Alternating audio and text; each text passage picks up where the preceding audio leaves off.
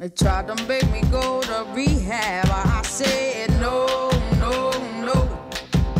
Yes, I've been black, but when I come back, no, no, no.